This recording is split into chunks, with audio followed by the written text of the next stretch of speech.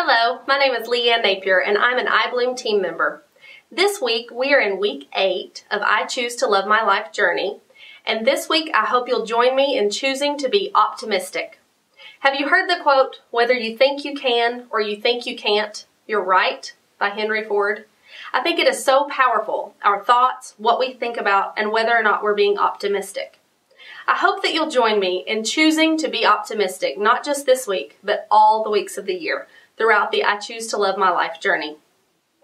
One exercise that I do with my husband, because he has a little more trouble being optimistic, um, more trouble than I have in being optimistic, is I ask him to give me 10 things that are going well in his life or that he's thankful for or grateful for, just to be thinking and to change his mindset of looking at the negative to looking at the positive.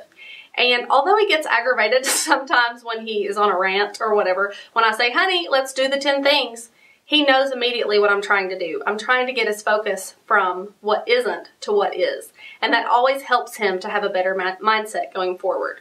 So I hope that you will think about what you can, and not just what you can, but what God can do in your life. Think about all of those positive promises that He's given us in His Word um, that will help us to be what we know in our hearts that we want to be.